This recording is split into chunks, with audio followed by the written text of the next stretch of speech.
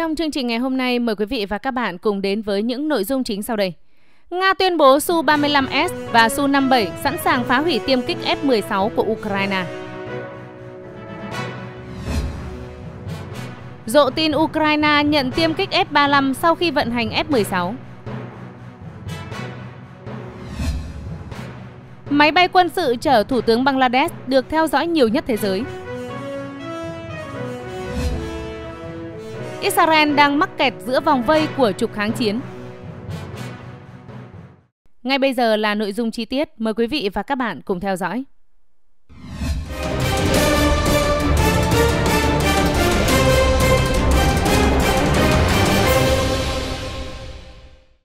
Xin kính chào quý vị khán giả đang theo dõi chương trình trên kênh YouTube của chúng tôi.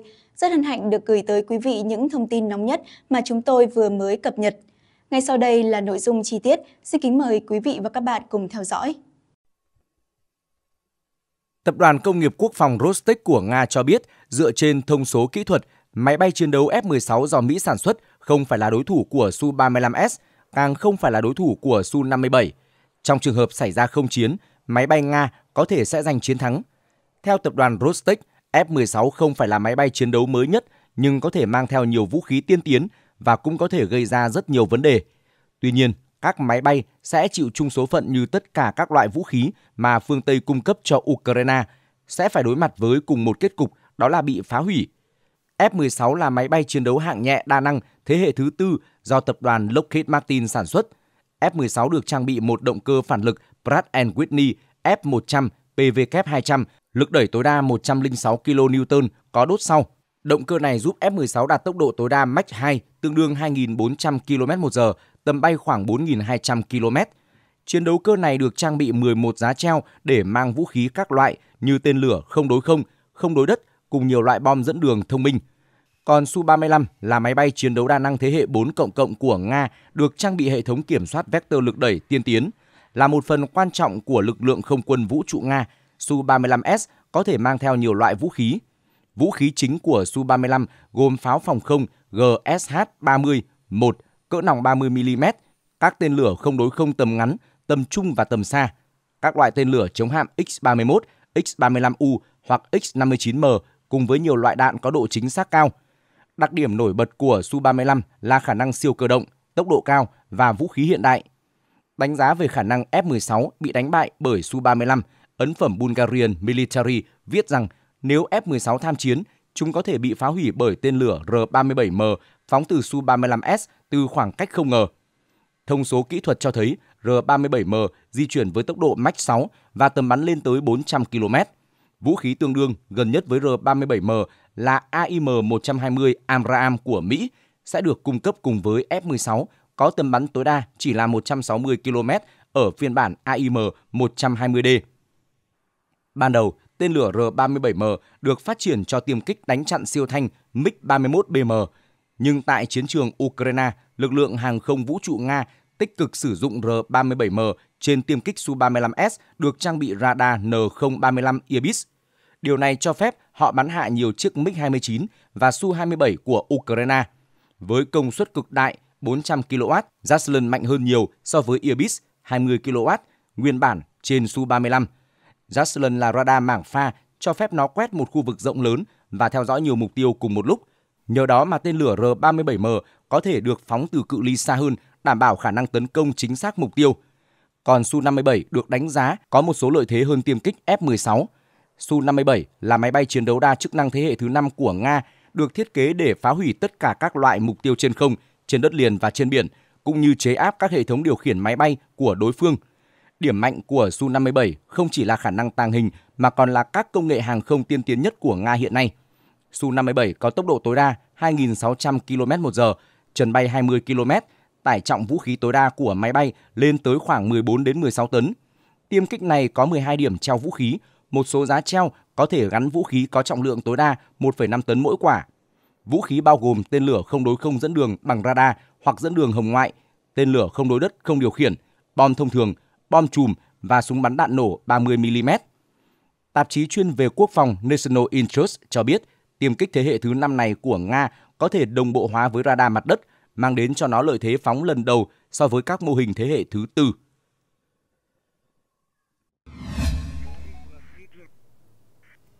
Báo cáo của cơ quan an ninh liên bang tại Donetsk vừa cho biết, trong tuần qua, hệ thống tác chiến điện tử Kupol đã ngăn chặn 235 cuộc tấn công bằng máy bay không người lái của Ukraine vào Donetsk Makievka và Yasinovataya.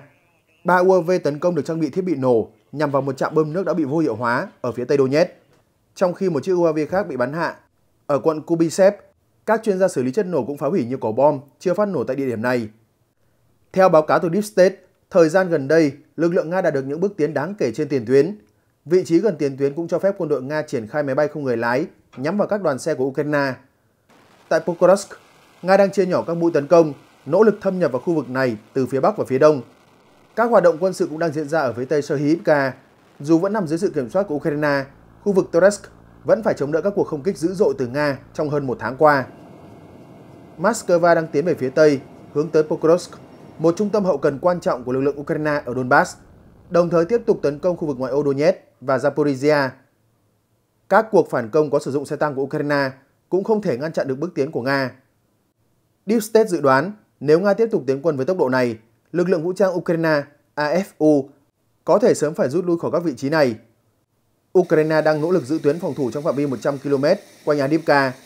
Sau khi chiếm được làng Progress giữa Adivka và Pokrovsk vào cuối tháng 7, lực lượng Nga đã đánh chọc sườn vào các vị trí của Ukraine, buộc Kiev phải từ bỏ vị trí.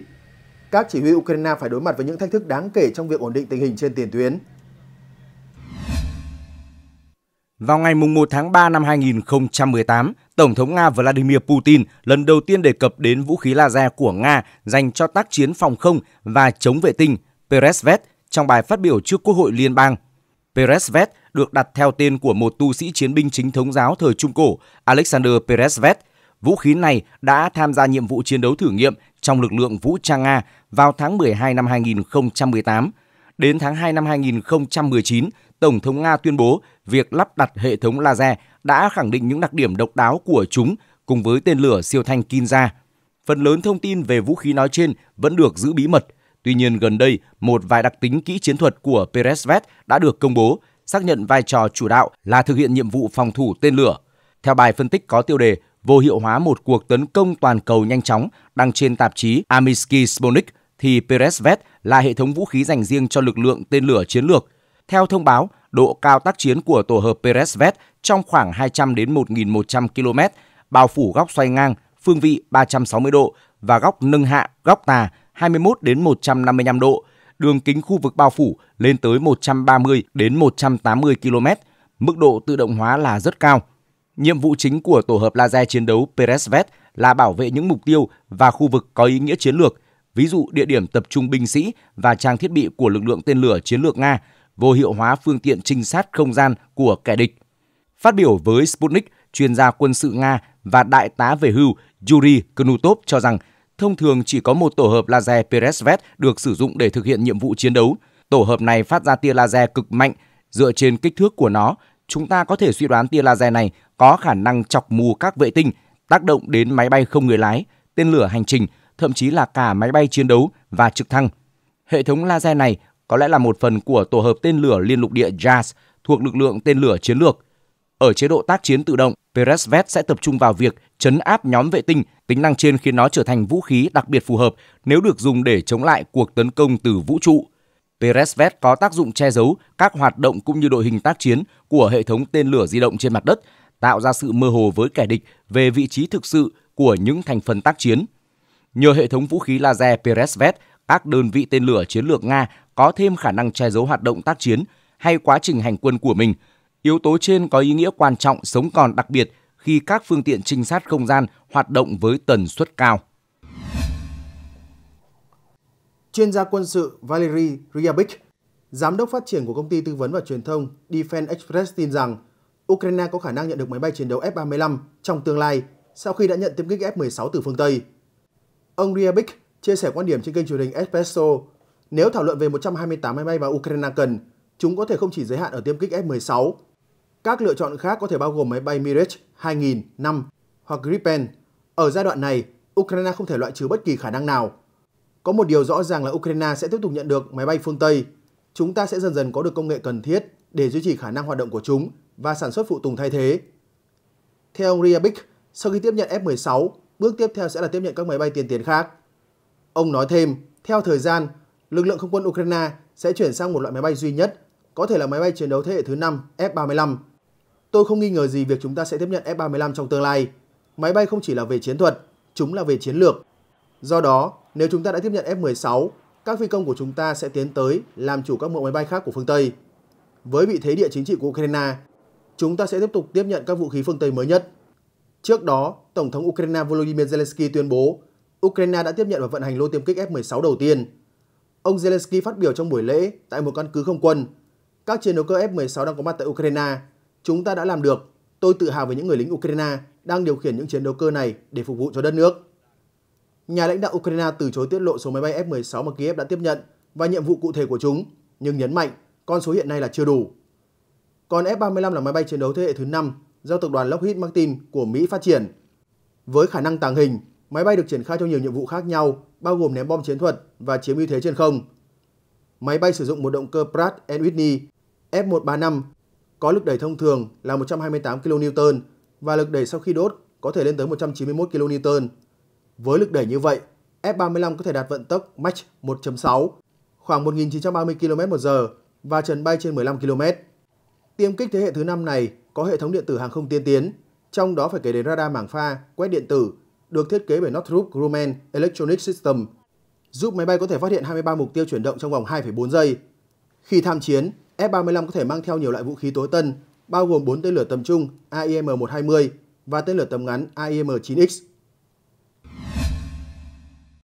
Tổng thống Ukraine Volodymyr Zelensky vừa qua cho biết, các tiêm kích F-16 được chờ đợi từ lâu đã đến Ukraine, đồng thời cảm ơn Đan Mạch, Hà Lan và Mỹ về sự hỗ trợ đó. Điều này cũng hoàn thành cam kết của Tổng thống Joe Biden về việc Mỹ sẽ cho phép các đồng minh cung cấp các chiến đấu cơ của nước này và hỗ trợ đào tạo phi công cho Ukraine. Viện Nghiên cứu Chiến tranh ISVK có trụ sở tại Washington cho biết, các nhà bình luận và quan chức Nga thường cảnh báo việc cung cấp vũ khí phương Tây cho Ukraine đã vượt qua một làn danh đỏ có thể buộc Nga đưa ra phản ứng làm gia tăng căng thẳng xung đột. Peter Rutland, một chuyên gia về Nga, hiện là giáo sư tại Đại học Islian cho hay, những hệ thống phòng không mạnh mẽ đồng nghĩa với việc không bên nào có thể đạt được ưu thế trên không. Theo ông, các tiêm kích F-16 sẽ tăng cường khả năng của Ukraine trong việc đánh chặn các UAV và trực thăng của Nga, được sử dụng để hỗ trợ cuộc tấn công mặt đất của họ. Kể từ khi xung đột ở Ukraine nổ ra, các đồng minh của nước này, dẫn đầu là Mỹ, đã thận trọng trong việc hỗ trợ quân sự để tránh gia tăng căng thẳng xung đột. Năm ngoái, Nga đưa ra 15 tuyên bố làn danh đỏ chính thức, so với con số 24 được đưa ra vào năm đầu tiên triển khai kế hoạch quân sự ở Ukraine. Tổng thống Nga Vladimir Putin cho biết, vũ khí hạt nhân chiến thuật có thể được sử dụng nếu sự tồn tại của nhà nước Nga bị đe dọa mặc dù làn danh đỏ này không được định nghĩa cụ thể. Các vũ khí Mỹ vận chuyển cho Ukraine đi từ các tên lửa Javelin và Stinger đến pháo phản lực HIMARS và lượng pháo M777. Cảnh báo của Moscow vào tháng 9 năm 2023 về việc Mỹ cung cấp tên lửa tầm xa Attack-MS đã bị phớt lờ vào tháng sau đó. Tháng 11 năm 2022, Phó Chủ tịch Hội đồng An ninh Nga, ông Dmitry Medvedev phản đối việc cung cấp các hệ thống tên lửa Patriot cho Ukraine nhưng việc chuyển giao đã diễn ra mà không vấp phải sự phản ứng mạnh mẽ từ Moscow. Những trường hợp trên là các minh chứng mà theo ISW cho thấy Moscow đã nhiều lần chứng minh rằng việc nhắc đến các làn danh đỏ là một kỹ thuật kiểm soát phản ứng nhằm buộc phương Tây phải thận trọng trong việc cung cấp cho Ukraine sự hỗ trợ quân sự bổ sung. ISW nhận định Kiev và các đồng minh đã vượt qua các làn danh đỏ Nga tự đặt ra mà không vấp phải phản ứng đáng kể từ phía Moscow. Tuy nhiên về phía Ukraine, Tổng thống Zelensky nhấn mạnh các quốc gia phương Tây luôn lo ngại khả năng gia tăng căng thẳng và chúng tôi đang đấu tranh chống lại điều đó. Chúng tôi sẽ giải quyết vấn đề này. Hiện tại, Kiev đang xem xét khả năng kỹ thuật để các quốc gia láng giềng sử dụng máy bay quân sự chống lại tên lửa tấn công Ukraine. Ukraine từ lâu đã gây sức ép lên các quốc gia phương Tây ủng hộ nước này với mong muốn họ tham gia sâu hơn vào cuộc xung đột với Moscow và bắt đầu bắn hạ máy bay không người lái, tên lửa của Nga trên lãnh thổ Ukraine. Tuy nhiên, những nỗ lực này bị cường quốc nước ngoài phản đối. Họ không muốn tham gia vào cuộc đối đầu quân sự trực tiếp với Nga. Theo Reuters, Pokrovsk là một trung tâm vận tải với dân số trước xung đột Nga-Ukraine là 61.000 người. Khu vực này nằm trên một con đường chính, đóng vai trò là tuyến đường tiếp tế quan trọng tới các tiền đồn do quân đội Ukraine kiểm soát như thị trấn Chasovya và Kostiantinovka. Trang tin Top War của Nga vừa qua đưa tin quân đội Nga tại phía đông Pokrovsk tiếp tục tiến dọc theo nhiều hướng cùng một lúc, tiến đánh các làng Zelany và Segevka trong khu vực tuyến đường sắt đến Pokrovsk cũng như làng Ivanovka ở phía tây bắc làng Progress. Các trận đánh giành Zelany giúp quân đội Nga áp sát thị trấn Novokrodovka, nơi có dân số trước khi xung đột nổ ra là khoảng 15.000 dân. Đồng thời, Krodovka và Novokrodovka là một phần của tuyến phòng thủ cuối cùng của quân đội Ukraine ở phía đông của cụm Pokrovskaya. Các đơn vị của ít nhất 3 lữ đoàn thuộc lực lượng vũ trang Ukraine AFU đã bị bao vây tại làng Zelany. Ba lữ đoàn này được chuyển ra tiền tuyến để ngăn chặn bước tiến của lực lượng vũ trang Nga, nhưng chưa kịp làm gì để chống lại quân đội Nga thì đã bị hãm vào cửa tử. Bộ Chỉ huy lực lượng vũ trang Ukraine đã điều động các lữ đoàn này chốt giữ các vị trí hiểm yếu ở làng Zelany, được coi là cứ điểm ngoại vi quan trọng để bảo vệ cho thành phố Pokrovsk. Thế nhưng, kết quả là bây giờ, cả ba lữ đoàn này đều đang bị quân đội Nga vây hãm trong một chảo lửa khủng khiếp. Các đơn vị của những lữ đoàn này hiện nay đang cố gắng khắc phục tình hình nguy cấp trong khu vực này bằng cách tăng cường sử dụng máy bay không người lái UAV cảm tử kamikaze. Nhưng những phương tiện bay chiến thuật này đã bị hệ thống tác chiến điện tử của Nga chế áp thành công. Trước đó, các nguồn tin Ukraine đưa tin về việc các đơn vị quân đội Nga đã đánh vào nội thị của thị trấn toresk và đang đột phá ở Zelany để bao vây nhóm lực lượng vũ trang Ukraine ở khu định cư New York. Theo ý kiến của giới bình luận từ Kiev, cuộc tấn công mạnh mẽ vào Toretsk của các đơn vị tấn công thuộc nhóm quân trung tâm của Nga đang phát triển theo chiều hướng hết sức nguy hiểm đối với lực lượng vũ trang Ukraine. Khi quân đội Nga đang phát huy sự tự tin xuyên thủng hàng phòng ngự của đối phương, cũng cần lưu ý rằng lực lượng vũ trang Ukraine đang chiếm giữ các vị trí mới tại trạm điện trung tâm của Toretsk. Nếu thành công, khu trạm biến áp này có thể trở thành bàn đạp tạm thời cho bước đột phá về hướng làng Nelepovka, nơi hiện nằm dưới sự kiểm soát hỏa lực của lực lượng vũ trang Nga. Theo tờ Kiev Independent, có ít nhất 4 vụ nổ đã được nghe thấy ở Kiev ngay sau khi cảnh báo không kích vang lên trong đêm, giữa lúc tên lửa Nga tấn công thủ đô của Ukraine. Vụ nổ đầu tiên đã xuất hiện trong thành phố chỉ sau vài phút. Nhiều tiếng nổ khác cũng được nghe thấy. Cơ quan quản lý quân sự thành phố Kiev cho rằng Nga đã sử dụng tên lửa đạn đạo Iskander-M hoặc KN-23 để thực hiện vụ tấn công. Cơ quan quản lý quân sự thành phố Kiev cho biết, tính đến thời điểm này, chưa có thiệt hại nào được ghi nhận ở Kiev và không có thông tin về thương vong. Không quân Ukraine cũng thông báo sau 23 giờ, một nhóm máy bay không người lái UAV của Nga đã tấn công về phía Tây qua tỉnh Chernihiv, khu vực nằm ở phía đông bắc Kiev. Thị trưởng Kiev Vitaly Klitschko xác nhận có thể nghe thấy lực lượng phòng không đang làm nhiệm vụ ngăn chặn UAV Nga phía trên khu vực. Hồi tháng 7, thị trưởng thành phố Kryvyi Rih, miền trung Ukraine, ông Alexander Vinkun cho biết Nga đã thực hiện cuộc tấn công vào Kryvyi Rih và đã phóng một loạt tên lửa vào Kiev và các thành phố khác của Ukraine trong một cuộc tấn công đã gây ra nhiều thương vong, trong bối cảnh đang diễn ra cuộc tấn công dữ dội vào các thành phố trên khắp Ukraine. Tổng thống Ukraine Volodymyr Zelensky gần đây nói với các phóng viên rằng chúng ta phải nghiên cứu khả năng kỹ thuật sử dụng máy bay chiến đấu từ các nước láng giềng để bắn hạ các tên lửa của Nga tấn công Ukraine theo hướng các nước láng giềng của chúng ta, trước hết là các quốc gia trong liên minh. Tổng thống Zelensky gọi động thái này là trách nhiệm rất lớn, có thể gây khó khăn cho các đối tác, nhưng ông giao nhiệm vụ cho các nhà ngoại giao tổ chức một cuộc họp của Hội đồng NATO Ukraine để thảo luận về vấn đề thành lập một liên minh bắn hạ tên lửa Nga trên lãnh thổ Ukraine. Ý tưởng này đã vấp phải sự phản đối mạnh mẽ từ các thành viên NATO khác. Thủ tướng Đức Olaf Scholz cho biết, việc bắn hạ máy bay không người lái hoặc tên lửa của Nga trên bầu trời Ukraine là không thể. Trong khi Tổng thư ký NATO Jens Stoltenberg ngụ ý rằng một bước đi như vậy sẽ kéo liên minh vào cuộc xung đột. Trước các đợt tấn công ồ ạt của Nga, một quan chức cấp cao của NATO cho rằng liên minh cần tăng viện cho Ukraine. Sự hỗ trợ này có thể giúp Ukraine đẩy lùi Nga vào năm 2025 khi họ chờ đợi thêm vũ khí phương Tây và điều thêm binh sĩ ra mặt trận. Trái với quan điểm này, một quan chức quốc phòng của Mỹ cho biết Ukraine có khả năng phải giữ thế phòng thủ trong 6 tháng tới và rất khó giành lợi thế đáng kể do tình trạng hỗn loạn trên chiến trường. Theo dữ liệu từ trang web chuyên theo dõi các đường bay Flyradar 24, máy bay chở thủ tướng vừa từ chức của Bangladesh, bà Sheikh Hasina, từ miền Đông Ấn Độ đến New Delhi đã trở thành máy bay được theo dõi nhiều nhất trên thế giới theo thời gian thực. Vừa qua, máy bay chở bà Hasina bay qua thành phố Varanasi thuộc tiểu bang Uttar Pradesh, miền Trung Ấn Độ, đã được 29.000 người theo dõi cùng lúc. Bà Hasina đã từ chức sau các cuộc biểu tình phản đối chính phủ và bay đến Ấn Độ chiếc máy bay chở bà đã hạ cánh tại sân bay Hindon, một căn cứ của không quân Ấn Độ tại Ghaziabad, cách New Delhi 40 km. Theo các phương tiện truyền thông, bà Sheikh Hasina đã bay trên một chiếc trực thăng quân sự cùng với chị gái. Trong diễn biến mới nhất tại Bangladesh, cảnh sát sở tại cho biết ít nhất 20 người đã thiệt mạng trong vụ bạo lực ở thủ đô Dhaka. Những người biểu tình đã xông vào các tòa nhà sau khi Thủ tướng Hasina tuyên bố từ chức. Các cuộc biểu tình bắt đầu bùng phát từ tháng 7 do sinh viên yêu cầu thay đổi liên quan đến hạn ngạch việc làm trong các cơ quan nhà nước. Điều này đã leo thang thành phong trào phản đối chính phủ rộng lớn, với hàng trăm nghìn người đã yêu cầu Thủ tướng Hasina phải từ chức sau 15 năm cầm quyền.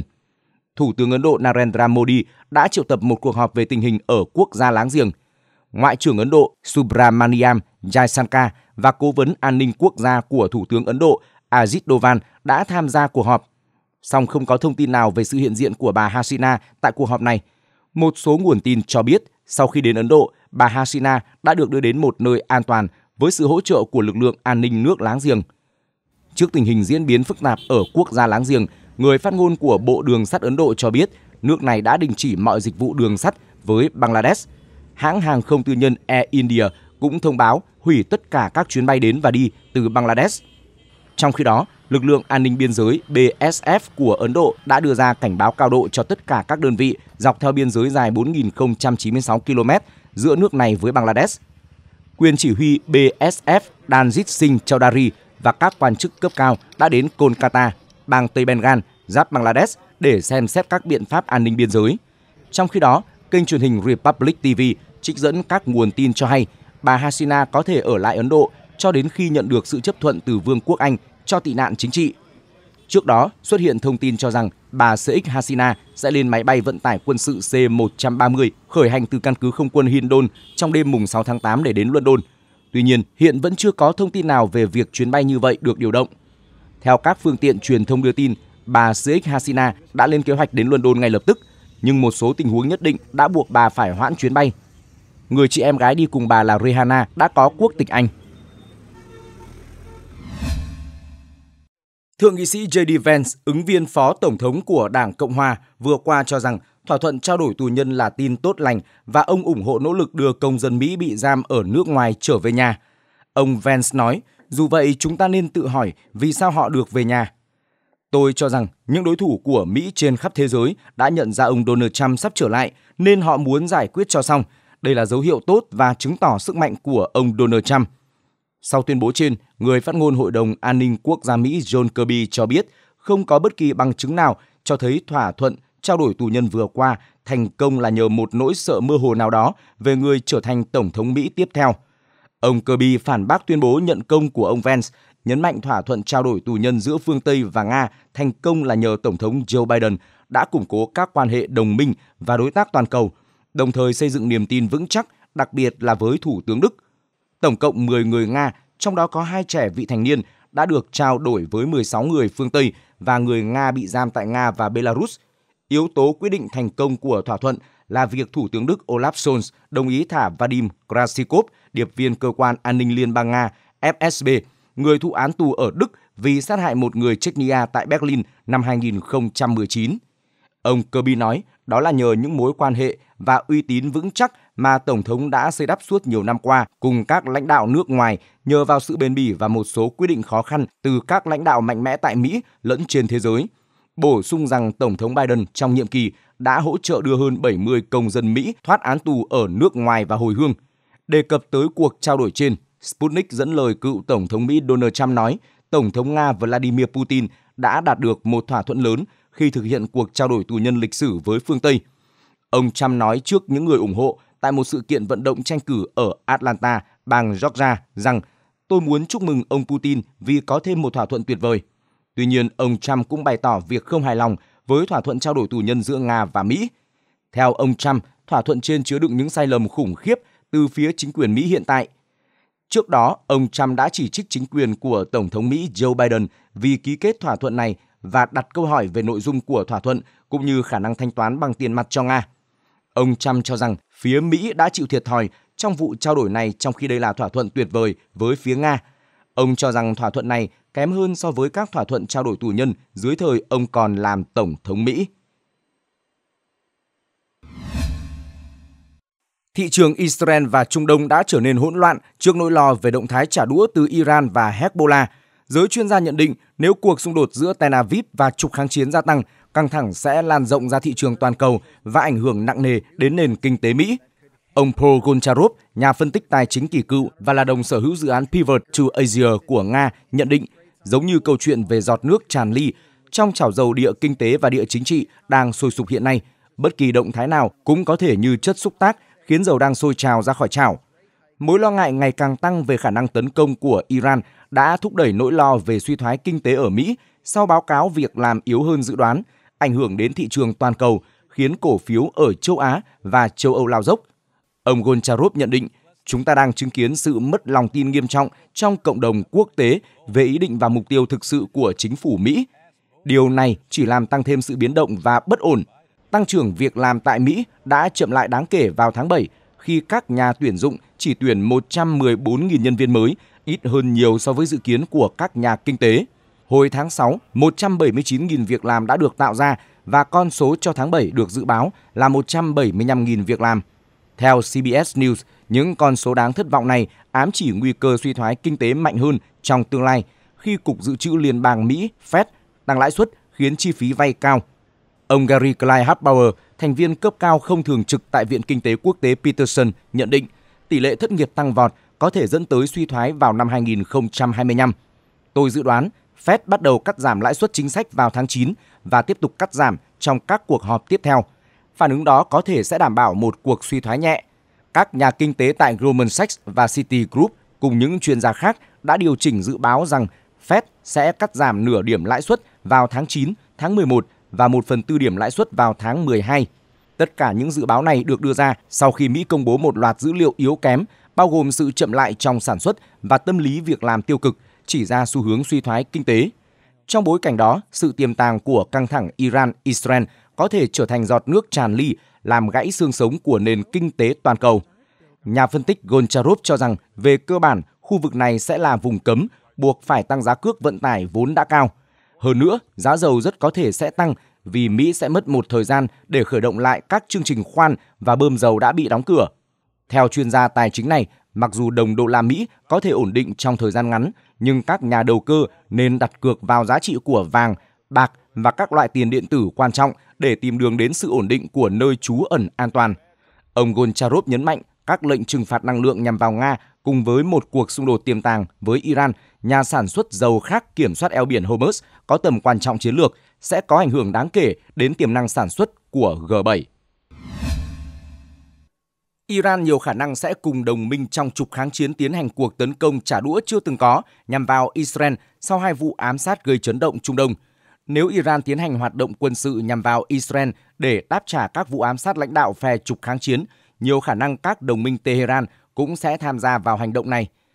Những tuyên bố của lãnh đạo tối cao Iran vừa qua đặt ra mối đe dọa chưa từng có đối với Israel khi Tel Aviv nằm lọt thỏm giữa vòng bao vây của trục kháng chiến ở Trung Đông, gồm phong trào Hamas của Palestine, Hezbollah ở Liban, các nhóm vũ trang Hồi giáo CIA ở Iraq, Syria và lực lượng dân quân Houthi của Yemen. Đây không phải là lần đầu tiên Israel đối đầu với trục kháng chiến. Hầu hết những lần trước đó, các nguy cơ xung đột đều được hóa giải thông qua ngoại giao hoặc kiềm chế về hành động quân sự. Lần này các giải pháp ngoại giao không còn hiệu quả khi Tel Aviv ám sát các lãnh đạo Hamas và Hezbollah dẫn đến căng thẳng gia tăng không thể vãn hồi. Vài giờ trước khi lãnh đạo Hamas Ismail Haniyeh qua đời, Israel đã nhận trách nhiệm về vụ tấn công tên lửa nhằm vào một tòa nhà dân cư ở Dahia, quận Đông Đúc ở thủ đô Beirut, Liban. Vụ tấn công đã khiến chỉ huy nhóm Hezbollah, ông Fuad Suk cùng một số người dân thiệt mạng.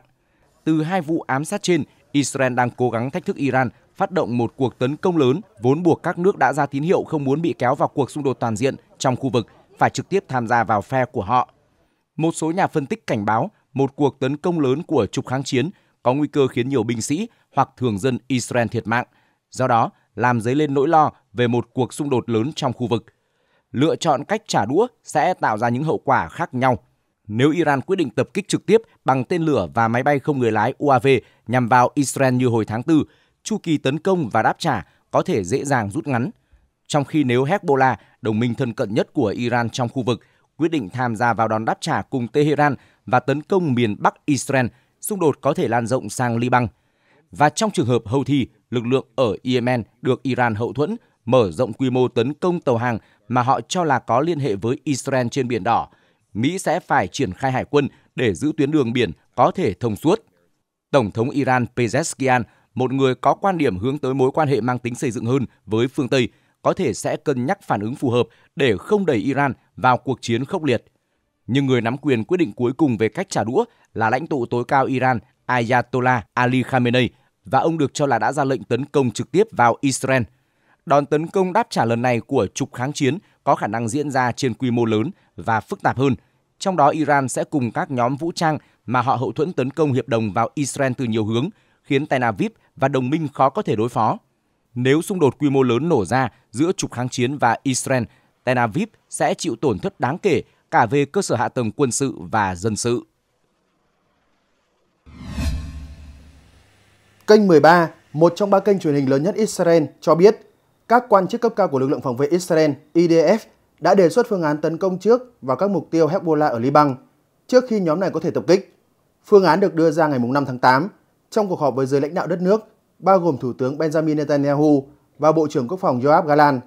Kênh 13 dẫn lời các quan chức IDF trong cuộc họp.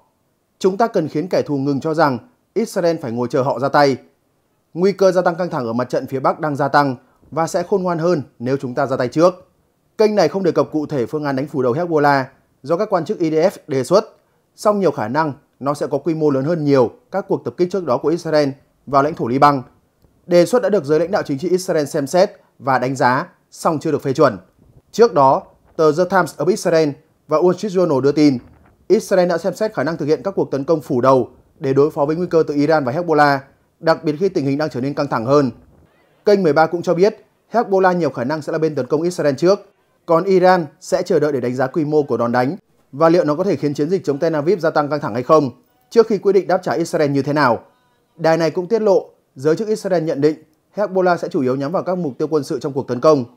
Trước đó, phong trào Hezbollah cho biết họ nhắm mục tiêu vào một căn cứ quân sự ở miền Bắc Israel để đáp trả các cuộc tấn công và sát hại do Israel thực hiện tại một số ngôi làng ở miền Nam Liban, bao gồm làng Kafakla và Deir Suriane.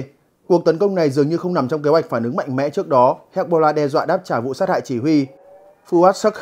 Quân đội Israel cho biết lực lượng cứu hỏa đã nỗ lực dập tắt đám cháy bùng phát do vụ tấn công ở Ayelet Hasaha, vùng thượng lưu Galilee. Phản ứng lại trước cuộc tấn công, Israel cho biết họ đã bắn trả vào các vị trí phóng đạn pháo ở Liban. Thông báo của IDF nêu rõ, sau tiếng còi báo động vang lên ở miền Bắc Israel trong đêm, hầu hết trong khoảng 30 quả đạn được xác định đi qua từ Liban đã bị hệ thống phòng thủ trên không IDF đánh chặn.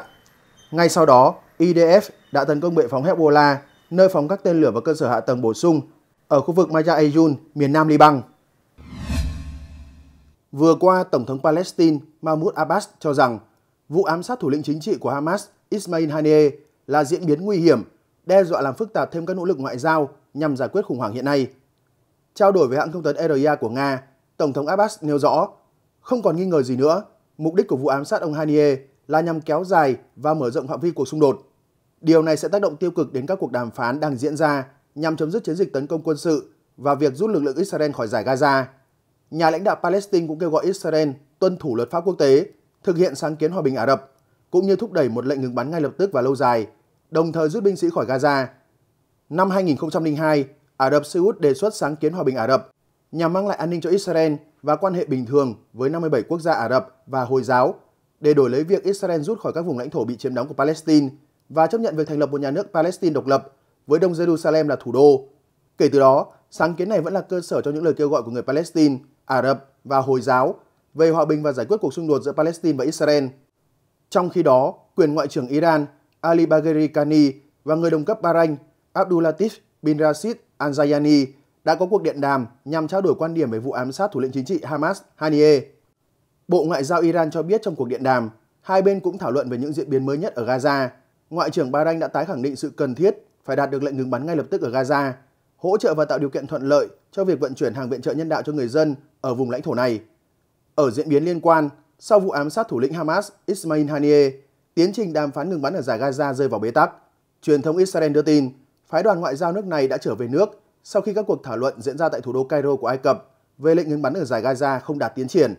Đây là phái đoàn đầu tiên của Israel đến Ai Cập kể từ sau vụ ám sát thủ lĩnh Hamas Ismail Haniyeh. Israel cáo buộc phong trào Hồi giáo Hamas khiến các cuộc đàm phán tại Cairo không tiến triển. Giới chức Israel khẳng định phía Israel không đưa ra yêu sách mới trong cuộc đàm phán, song Hamas đang cố gắng bổ sung hàng chục điểm sửa đổi vào dự thảo thỏa thuận được đưa ra hồi tháng 5 vừa qua. Ai Cập, Qatar và Mỹ đang dẫn đầu các nỗ lực trung gian nhằm đạt một thỏa thuận ngừng bắn và trao đổi con tin giữa Israel và Hamas với mục đích hướng đến ngừng bắn lâu dài ở giải Gaza. Tuy nhiên, vụ ám sát thủ lĩnh Hamas Ismail Haniyeh đã làm chệch hướng các nỗ lực này. Liên Hiệp Quốc vừa xác nhận rằng 9 nhân viên cơ quan Liên hiệp Quốc về người tị nạn Palestine UNRWA có thể đã liên quan cuộc tấn công của Hamas tại miền nam Israel vào ngày 7 tháng 10 năm 2023 dẫn đến xung đột ở giải Gaza. Phát ngôn viên Liên Hợp Quốc Fahan Haq cho biết, chúng tôi có đủ thông tin để thực hiện các hành động mà chúng tôi đang thực hiện, tức là chấm dứt hợp đồng với 9 cá nhân này. Ông cho biết, Liên Hợp Quốc sẽ cần phải đánh giá bất cứ bước tiếp theo nào để xác nhận đầy đủ các cáo buộc. Phát biểu được đưa ra sau khi cơ quan giám sát của Liên Hợp Quốc là Văn phòng Dịch vụ Giám sát Nội bộ (OIOS) hoàn tất cuộc điều tra về cáo buộc của Israel vào đầu năm nay rằng tổng cộng 19 nhân viên UNRWA có thể đã tham gia vào vụ tấn công. Ông Hắc cho biết, trong số này, có một trường hợp OIOS không thu thập được bằng chứng cho thấy người này tham gia vụ tấn công. 9 trường hợp khác vẫn đang xem xét vì các bằng chứng thu thập được chưa đủ để chứng minh. Tuy nhiên, đối với 9 cá nhân còn lại, bằng chứng cho thấy họ có thể đã tham gia cuộc tấn công của Hamas.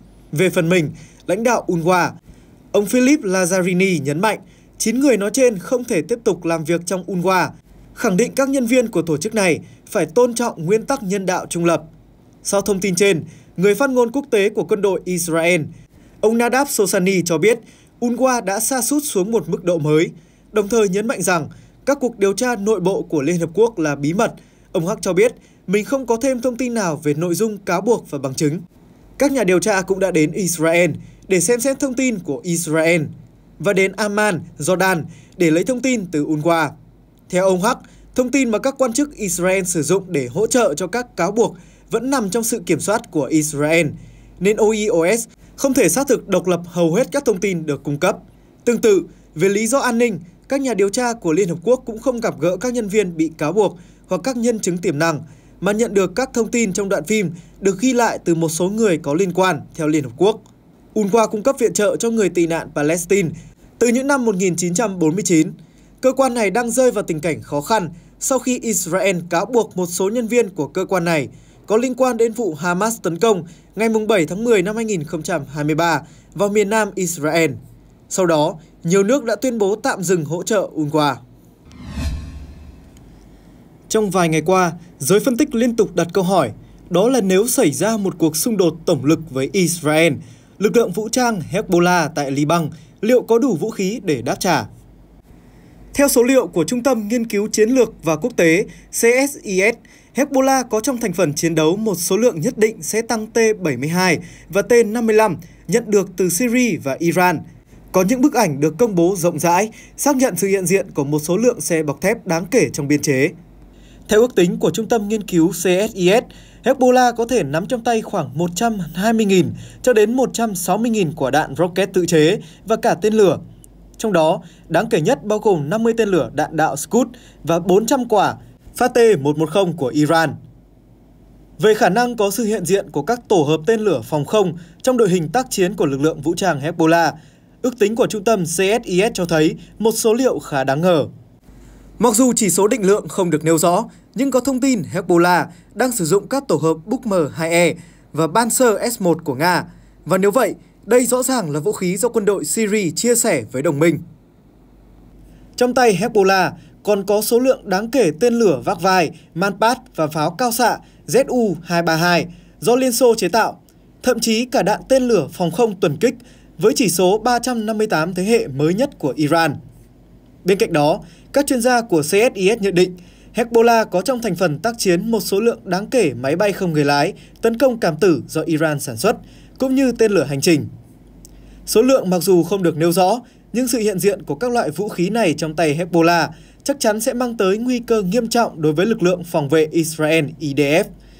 Vấn đề IDF quan ngại nhất đó là nếu chiến tranh toàn diện nổ ra, chắc chắn Iran sẽ viện trợ tối đa cho đồng minh, tức là Hezbollah có thể nhận được những loại vũ khí tối tân hơn nữa và hiện chưa có trong danh sách thống kê của CSIS. Trước nguy cơ đồng minh thân cận Israel bị Iran tấn công, Mỹ đã điều động hàng loạt vũ khí hiện đại tới Trung Đông để chuẩn bị cho kịch bản này. Một nguồn tin thân cận nói với tạp chí Air Space Force rằng một phi đội máy bay chiến đấu của không quân Mỹ bao gồm các máy bay tàng hình F-22 Raptor đang được điều động đến khu vực này. F-22 là một trong những máy bay thế hệ 5 chiếm ưu thế trên không tác chiến hiệu quả nhất thế giới. Nếu F-22 tiêm kích thế hệ 5 vượt trội thực sự được Mỹ chuyển tới Trung Đông, chúng sẽ giúp Mỹ đạt được ưu thế trên không mạnh mẽ hơn để bảo vệ đồng minh. Để phục vụ cho lực lượng máy bay chiến đấu và cường kích hoạt động, Mỹ cũng đưa thêm máy bay tiếp dầu tới khu vực. Các máy bay này sẽ tăng cường năng lực hỗ trợ phòng thủ trên không cho Israel. Ngoài ra, còn có khả năng Mỹ đưa tiêm kích F-35C tới Trung Đông. Theo Army Recognition, F-35 được xem là tiêm kích hiện đại nhất của Mỹ nhờ hội tụ những yếu tố của một vũ khí chiến đấu uy lực như khả năng tàng hình trước radar, tốc độ ấn tượng, tính linh hoạt cao, hệ thống cảm biến hiện đại. Ngoài máy bay, Mỹ cũng đưa dàn tàu chiến đông đảo tăng cường cho Bộ Tư lệnh Trung tâm ở Trung Đông và Bộ Tư lệnh châu Âu gần Đông Địa Trung Hải. Theo thống kê, Mỹ hiện duy trì ít nhất 12 tàu chiến tại Trung Đông trong bối cảnh căng thẳng gia tăng trong khu vực. Ngoài ra, theo thông báo, Lầu Năm Góc cũng đang gửi thêm tàu tuần dương và tàu khu trục có khả năng phòng thủ tên lửa đạn đạo tới Trung Đông. Ngoài ra, Mỹ cũng có thể tăng cường năng lực phòng thủ đất đối không trên đất liền để ngăn chặn các cuộc tấn công của Iran vào Israel. Ngoại trưởng Israel Israel Katz vừa qua cho biết Iran đã thông báo quyết định sẽ tấn công Israel sau vụ ám sát thủ lĩnh Hamas tại thủ đô Tehran. Ông Katz cho biết thông báo được Ngoại trưởng Hungary Peter Szijjarto chuyển từ người đồng cấp Iran Ali Bagheri tới phía Israel. Động thái này diễn ra trong bối cảnh các bên đang nỗ lực dùng biện pháp ngoại giao để tránh xung đột trực tiếp giữa Iran và Israel. Trước đó, trong cuộc thảo luận với Ngoại trưởng Bahrain, Abdulatif bin Rashid Al-Zayani, ông Bagheri tuyên bố Iran quyết trả thù vụ ám sát thủ lĩnh Hamas Ismail Haniyeh tại Tehran. Nhiều bên cho rằng Israel tổ chức vụ ám sát, song nước này không xác nhận hay phủ nhận thông tin. Ông Bagri đăng trên mạng xã hội X sự im lặng trước hành động xấu xa đang lan rộng của Israel sẽ gây bất lợi cho ổn định của khu vực. Sự thờ ơ trước các động thái gần đây của Israel đồng nghĩa với việc dung túng cho họ. Trong khi đó, giới tình báo phương Tây dự đoán Iran sẽ động binh trong thời gian sớm nhất và không loại trừ khả năng phối hợp với các lực lượng ủy nhiệm trong khu vực như Hezbollah ở Liban, Houthi ở Yemen và các nhóm vũ trang khác ở Syria, Iraq. Mặc dù vậy, giới chức Mỹ vẫn chưa thể chắc chắn khi nào Tehran hành động và tấn công như thế nào đội ngũ an ninh của Tổng thống Mỹ Joe Biden nói rằng họ có rất ít thông tin liên quan đến chi tiết một cuộc tấn công tiềm tàng của Iran. Tuy nhiên, Iran vừa qua tuyên bố sẽ báo thù rất mạnh tay vào thời gian, địa điểm với cách thức phù hợp. Về phía Israel, Bộ trưởng Quốc phòng Israel, ông Joab Galan tuyên bố trong chuyến thăm trung tâm chỉ huy ngầm của không quân Israel tại Tel Aviv rằng đối phương đang phải cân nhắc cẩn trọng các bước đi của họ nhờ vào khả năng mà chúng ta đã thể hiện trong năm qua. Tuy nhiên, chúng ta cần chuẩn bị cho mọi khả năng bao gồm việc chuyển đổi nhanh chóng sang trạng thái tấn công. Theo Bộ trưởng Quốc phòng Israel, Bộ trưởng Galan đã quan sát các hoạt động chuẩn bị của không quân Israel theo diễn biến an ninh, cũng như khả năng tấn công trong mọi hoạt động tác chiến. Được biết trước đó, Israel đã cân nhắc đánh đòn phủ đầu và chuẩn bị cho một cuộc tấn công kéo dài nhiều ngày của Iran và Hezbollah bằng tên lửa và thiết bị bay không người lái. Thủ tướng Israel Benjamin Netanyahu cũng đề cập đến cuộc tấn công có thể xảy ra khi phát biểu tại một lễ tưởng niệm. Chúng tôi đang chuẩn bị chiến đấu với mọi kịch bản, trên mọi mặt trận. Các cuộc tấn công sâu rộng của chúng tôi ở giải Gaza, Yemen, Beirut và bất cứ nơi nào cần thiết. Trong một cuộc phỏng vấn với kênh YouTube Politika của Ukraine, cựu tham mưu trưởng phái đoàn quân sự của NATO tại Moscow, cựu đại úy hải quân Mỹ đã nghỉ hưu, Gary Tabak cho biết Mỹ đã gây ra sự thù địch ở Ukraine để đạt được các mục tiêu chính trị và sau đó phản bội điều đó. Ông nói Ukraine đã bị phản bội, trước hết là bởi chính quyền Mỹ. Ukraine đã bị bán, Ukraine đã bị phản bội và họ đang sử dụng nó cho các mục tiêu chính trị mà họ đặt ra, cuộc khủng hoảng với ông Putin. Ông Tabak cho rằng hiện tại đang có tình thế khó khăn ở Ukraine, lực lượng vũ trang Ukraine chịu nhiều tổn thất và không có đủ vũ khí cần thiết. Ông nói, tất cả các liên minh này đã tập hợp lại, không đạn pháo, không máy bay, không xe bọc thép. Cựu đại úy Hải quân Mỹ còn nói thêm về phía Ukraine, các vị sẽ phải tham gia đàm phán không theo các điều kiện của mình xét về những gì đang diễn ra. Theo chuyên gia, sau này có thể thảo luận ai là người chịu trách nhiệm cho thất bại này, nhưng ở giai đoạn này nếu không có gì thay đổi, ta Bắc tin rằng phương Tây sẽ buộc Ukraine phải chấp nhận các điều kiện của Nga để chấm dứt xung đột. Tại Ukraine, Tổng thống Volodymyr Zelensky cho biết nước này đang thúc đẩy các quốc gia NATO thành lập một liên minh có thể cố gắng đánh chặn tên lửa của Nga. Khối quân sự do Hoa Kỳ đứng đầu trước đây đã từ chối làm như vậy. Kiev từ lâu đã gây sức ép với những người ủng hộ phương Tây để tham gia nhiều hơn vào cuộc xung đột với Moscow và bắt đầu bắn hạ máy bay không người lái và tên lửa của Nga trên lãnh thổ Ukraine. Tuy nhiên, những nỗ lực của họ đã bị các cường quốc nước ngoài miễn cưỡng tham gia vào một cuộc đối đầu quân sự trực tiếp với Nga phản đối. Ông Zelensky nói với các nhà báo vào cuối tuần trước, các quốc gia phương Tây luôn lo ngại về khả năng gia tăng căng thẳng. Chúng tôi đang đấu tranh chống lại điều đó. Chúng tôi sẽ giải quyết vấn đề này. Ông nói thêm, chính phủ Kiev đang xem xét các khả năng kỹ thuật để các quốc gia láng giềng sử dụng máy bay quân sự chống lại tên lửa tấn công Ukraine. Sau khi bay theo hướng chung của các nước NATO, chính phủ Ba Lan cho biết họ sẵn sàng đáp lại lời kêu gọi của Ukraine miễn NATO chấp thuận. Washington cũng tin việc cung cấp thêm hệ thống phòng không cho Ukraine tự vận hành là cách tốt nhất để chống lại đợt tấn công của Nga. Nhiều phân tích cho rằng Ukraine không đủ khả năng tự tạo ra thay đổi cục diện ở chiến trường, cần sự ủng hộ liên minh từ NATO.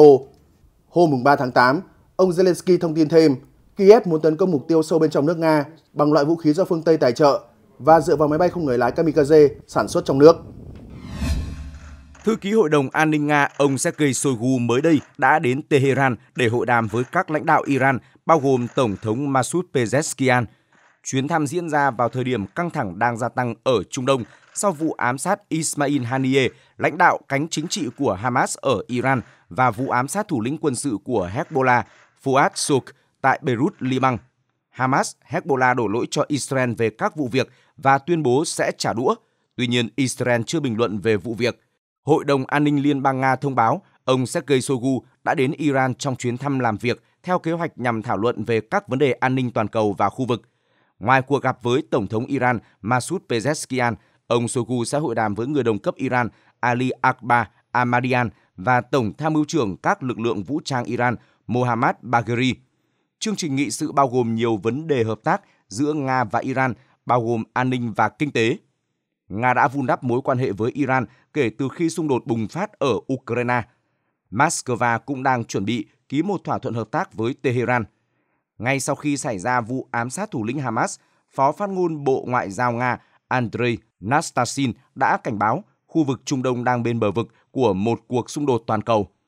Người phát ngôn Điện Kremlin Dmitry Peskov cũng cảnh báo vụ ám sát thủ lĩnh Hamas đi ngược lại với các nỗ lực mang lại hòa bình cho khu vực, thậm chí có thể làm mất ổn định hơn nữa tình hình vốn đã căng thẳng. Bộ Ngoại giao Nga nhận định rõ ràng những kẻ tổ chức vụ ám sát chính trị này hiểu rằng những hành động này sẽ gây ra hậu quả nguy hiểm cho toàn bộ khu vực. Theo Bộ Ngoại giao Nga, vụ ám sát thủ lĩnh Haniyeh sẽ có tác động vô cùng tiêu cực đến các cuộc tiếp xúc gián tiếp trong tương lai giữa Hamas và Israel, đồng thời kêu gọi tất cả các bên liên quan kiềm chế và tránh mọi bước đi có thể làm tình hình an ninh trong khu vực trở nên tồi tệ hơn và dẫn đến một cuộc đối đầu quân sự trên quy mô lớn. Trong tình hình căng thẳng đó, chỉ huy Bộ Tư lệnh Trung tâm Mỹ CENTCOM, tướng Michael Kurilla cũng đã đến Trung Đông. Theo Axios dẫn lời một quan chức Mỹ, chuyến thăm của ông Kurilla, vị tướng chỉ huy các lực lượng Mỹ ở Trung Đông, đã được lên kế hoạch trước khi xảy ra căng thẳng gần đây giữa Israel với Iran và Hezbollah. Nhưng ông dự kiến sẽ tận dụng chuyến đi này để cố gắng huy động liên minh quốc tế và khu vực đã bảo vệ Israel trước cuộc tấn công của Iran ngày 13 tháng 4. Lầu Năm Góc cho hay Mỹ đang tăng cường lực lượng của mình ở Trung Đông để chuẩn bị đối phó một cuộc tấn công tiềm tàng của Iran nhằm vào Israel và sẽ gửi thêm tàu chiến và chiến đấu cơ đến khu vực. Trong cuộc gọi với người đồng cấp Israel, Bộ trưởng Bộ Quốc phòng Mỹ Lloyd Austin đã nhắc lại sự ủng hộ của Mỹ đối với an ninh của Israel và quyền tự vệ trước các mối đe dọa từ Iran, Hezbollah, Houthi và các nhóm chiến binh khác do Iran hậu thuẫn.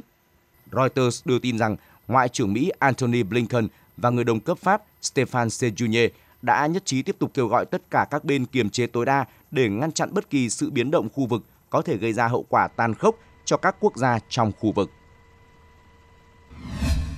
Giữa lúc diễn biến mới nhất trong các cuộc đụng độ trả đũa trên toàn khu vực xung quanh cuộc xung đột kéo dài gần 10 tháng giữa Israel và Hamas ở giải Gaza, các chuyên gia và cựu quan chức đã nói với Newsweek rằng cả hai thành viên trục kháng chiến liên kết với Iran là Ansarallah, Houthi và Hezbollah có khả năng sẽ đóng vai trò trong một cuộc tấn công đa hướng có khả năng sắp xảy ra nhằm vào Israel. Phó phát ngôn Ansarallah Nasreddin Ame đã từ chối tiết lộ chi tiết về sự tham gia của nhóm này vào một cuộc tấn công sắp tới như vậy, nhưng cho biết các kế hoạch lớn đang được tiến hành. Vị này nói, trong giai đoạn này, chúng tôi có xu hướng nói ít và hành động nhiều. Đây là điều tôi muốn thế giới hiểu. Tiền thân của Houthi là nhóm Ansar Allah, nghĩa là những phụ tá của Chúa.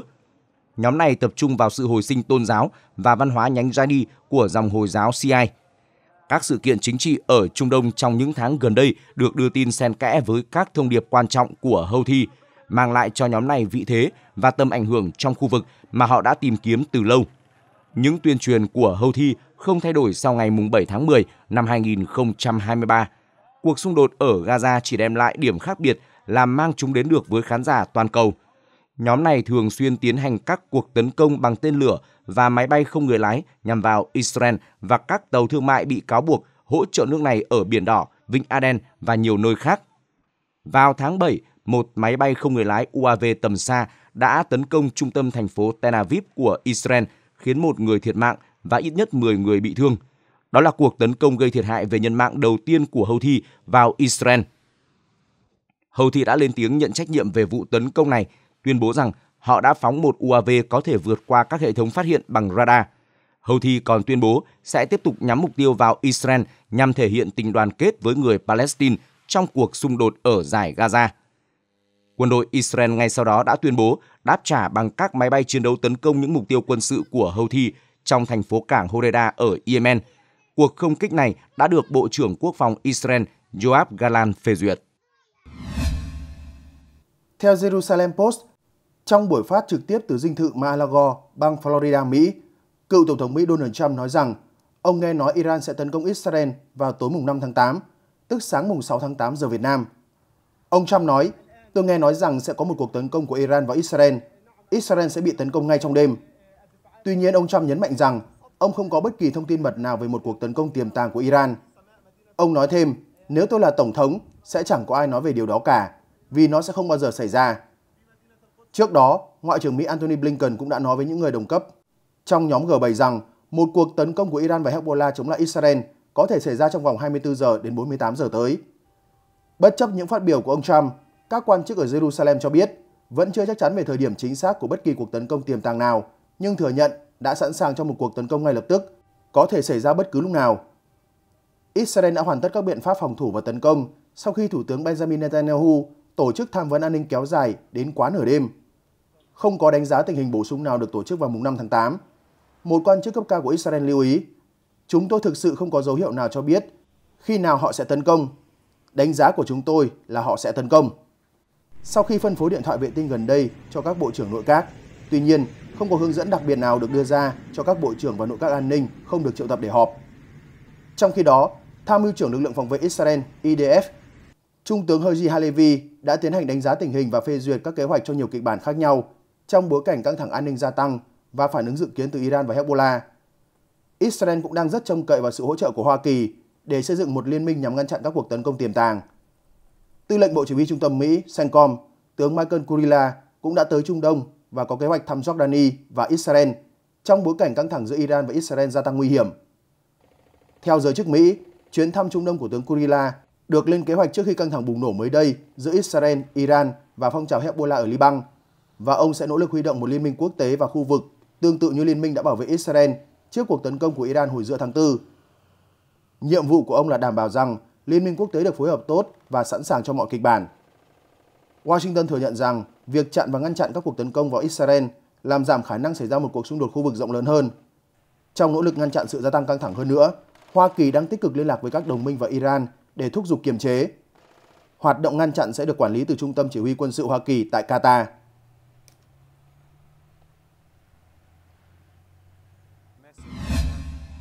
Cuộc tìm kiếm phó tướng của bà Kamala Harris đang trong giai đoạn cuối cùng và bà sẽ bước vào ngày cuối tuần này với nhiều điều phải cân nhắc trước khi công bố lựa chọn chính thức. Theo Daily Mail, Alan Lichtman, người đã dự đoán đúng 9 trong số 10 cuộc bầu cử gần đây nhất, tuần trước cho hay danh sách lựa chọn của bà Kamala Harris đã rút gọn còn lại hai ứng cử viên phó tổng thống, đó là thống đốc Pennsylvania Josh Shapiro và thượng nghị sĩ Arizona Mark Kelly. Giáo sư đại học Mỹ này nói, tôi nghĩ việc lựa chọn ứng viên phó tổng thống không thể xoay chuyển cuộc bầu cử, nhưng quá trình đó lại rất quan trọng.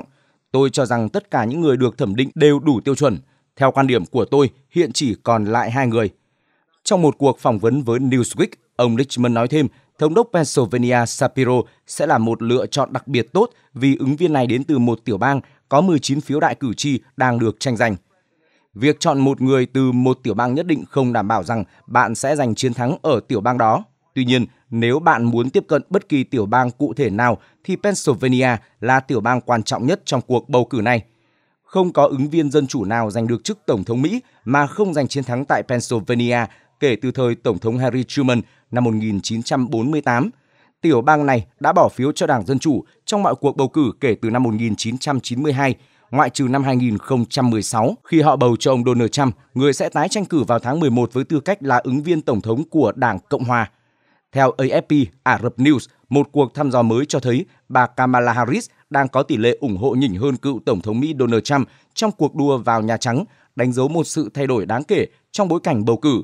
Trong cuộc thăm dò của CBS News, YouGov, bà Harris hiện đang dẫn trước ông Trump một điểm phần trăm trên toàn quốc, đảo ngược lợi thế 5 điểm phần trăm mà ông Trump từng có so với Tổng thống Joe Biden trước khi ông từ bỏ nỗ lực tái tranh cử. Với cuộc bầu cử vào ngày 5 tháng 11 đang đến gần, bà Harris đã thu hẹp khoảng cách mà ông Trump đã xây dựng trước đó, trong khi ông Trump, người đã gây sốc với chiến thắng trong cuộc bầu cử tổng thống năm 2016, nhưng đã bị Tổng thống Biden đánh bại vào năm 2020, vẫn duy trì sự ủng hộ mạnh mẽ từ cử tri về vấn đề kinh tế. Bà Harris đang chạy đua để khẳng định mình với cử tri.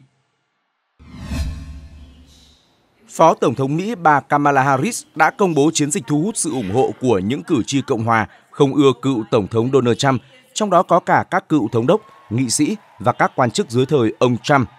Theo CNBC, chiến dịch đã thu hút được hơn 25 thành viên gồm nhiều cựu nghị sĩ và một số cái tên nổi bật trong Đảng Cộng hòa như cựu Bộ trưởng Bộ Quốc phòng Mỹ Chuck Hagel, cựu Bộ trưởng Bộ Giao thông Vận tải Ray LaHood.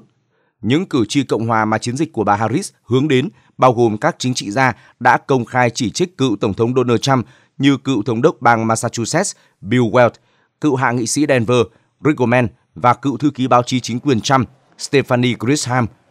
Các cử tri Cộng hòa ủng hộ bà Harris sẽ xuất hiện trong các cuộc vận động của Phó Tổng thống trong tuần này tại các bang chiến trường, nhưng hiện vẫn chưa rõ chính xác những người nào sẽ có mặt. Bà Harris muốn dựa vào những người có tiếng nói trong Đảng Cộng hòa để nhắm vào cựu Tổng thống Trump, đặc biệt là nhóm cử tri từng ủng hộ bà Nikki Haley trong vòng bầu cử sơ bộ. Bên cạnh đó, theo các nguồn tin, cựu hạ nghị sĩ Đảng Cộng hòa bang Wyoming Liz Cheney có thể cuối cùng sẽ ủng hộ Phó Tổng thống Kamala Harris, mặc dù bà không có tên trong danh sách được nhắc đến ở trên. Chiến dịch của bà Harris có thể lôi kéo thêm sự ủng hộ của cựu thượng nghị sĩ Đảng Cộng hòa tại bang Arizona, Jeff Flake, người đã ủng hộ ông Joe Biden trong cuộc bầu cử năm 2020. Tuy nhiên, ông Flake từ chối bình luận về vấn đề này. Chiến dịch của bà Harris nhằm lôi kéo cử tri Đảng Cộng hòa diễn ra sau khi Tổng thống Joe Biden tuyên bố rút khỏi cuộc đua vào Nhà Trắng và ủng hộ bà trở thành ứng viên của Đảng Dân Chủ. Theo một cuộc thăm dò hồi cuối tháng 7, bà Harris hầu như đã xóa bỏ khoảng cách dẫn trước 6 điểm của ông Trump trong cuộc đua giành chức Tổng thống Mỹ. Kết quả cuộc bầu cử vào tháng 11 tới có thể được quyết định chỉ với cách biệt nhỏ. Sự cân bằng đó là lý do tại sao chiến dịch của bà Harris nhắm vào những cử tri Cộng hòa chưa quyết định. Trong chiến dịch tranh cử năm 2020, chiến dịch Biden-Harris đã tìm cách thu hút nhóm cử tri độc lập và những người không bao giờ ủng hộ ông Trump. Cựu phó thống đốc Đảng Cộng hòa bang Georgia Jeff Duncan trước đó cho biết mặc dù sự ủng hộ của ông dành cho bà Harris không đến một cách dễ dàng nhưng nó đến một cách tự nhiên. Mặc dù nhiều lãnh đạo Đảng Cộng hòa đã bày tỏ lo ngại về ông Trump nhưng không có nghĩa là họ sẽ ủng hộ ông Biden hay bà Harris. Trong số này có Mike Pence, cựu phó tổng thống trong nhiệm kỳ 2017-2021. Chiến dịch của bà Harris được cho là cũng đang nhắm đến cựu phó tổng thống. Bà Olivia Choi, cựu cố vấn an ninh quốc gia của ông Pence, kêu gọi ông ủng hộ bà Harris. Nếu ông Pence đang lắng nghe, tôi kêu gọi ông hãy làm điều đúng đắn. Ông Austin Weatherford, giám đốc phụ trách nỗ lực tiếp cận Đảng Cộng hòa của bà Harris, cho hay chúng tôi muốn người Cộng hòa nói chuyện với người Cộng hòa. Cách tốt nhất để một cử tri Cộng hòa bỏ phiếu cho bà Harris là nghe lời khuyên từ một cử tri Cộng hòa có cùng lựa chọn. Ông Weatherford từng là tránh văn phòng của cựu nghị sĩ Cộng hòa bang Illinois Adam Kinzinger. Ông Kinzinger ủng hộ ông Biden và bà Harris từ trước khi Tổng thống Joe Biden rời cuộc đua, sau đó chuyển sang ủng hộ bà Harris. Chương trình của chúng tôi đến đây là kết thúc. Cảm ơn quý vị và các bạn đã dành thời gian theo dõi. Xin kính chào và hẹn gặp lại trong những chương trình lần sau.